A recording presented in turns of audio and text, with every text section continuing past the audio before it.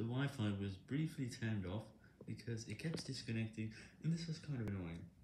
So now it's been turned on again a few minutes ago and I hope it's better than the last time because I think it will not do as many disconnects as it did before and it's also a much better experience.